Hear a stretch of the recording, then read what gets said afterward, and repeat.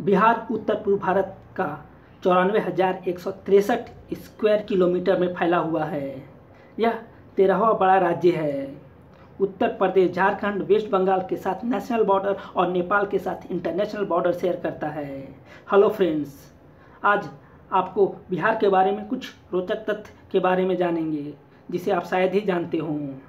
बिहार की आबादी 10 करोड़ चार लाख से ज़्यादा है। जिसमें बयासी परसेंट हिंदू, सत्रह परसेंट मुस्लिम और एक परसेंट में अन्य धर्म के लोग आते हैं। बिहार शब्द, संस्कृत शब्द विहार से लिया गया, जिसका मतलब होता है निवास। इसमें आमतौर पर उन क्षेत्रों को शामिल किया गया था जिसमें बौद्ध भिक्षुक रहा करते थे।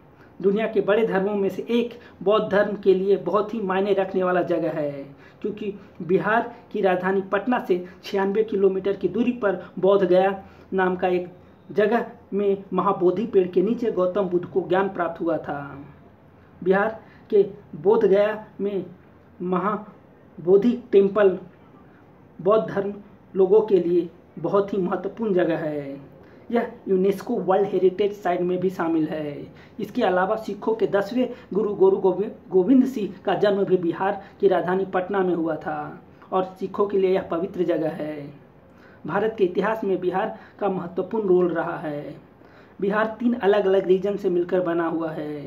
ये रीजन है मगध, मिथिला और भोजपुर।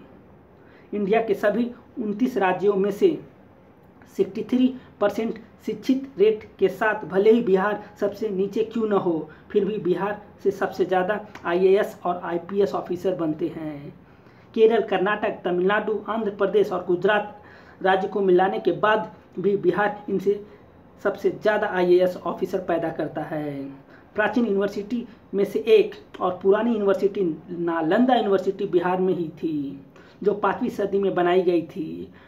और यहाँ पर दुनिया के सभी हिस्सों से लोग पढ़ने आते थे। इस वक्त यह यूनेस्को यूनेस्को वर्ल्ड हेरिटेज में अभी भी शामिल है। लिट्टी चोखा बिहार का सबसे फ़ेमस फ़ूड माना जाता है। यह कहा जाता है कि बिहार के लोग बात बात पर मारपीट करते हैं। लेकिन बिहार ही हिंदुस्तान का पहला राज्य है, जहाँ से शांति का पैगाम पूरी दुनिया में फैलाया गया। और यही वो जगह है, जहाँ पर बौद्ध धर्म और जैन धर्म की शुरुआत हुआ।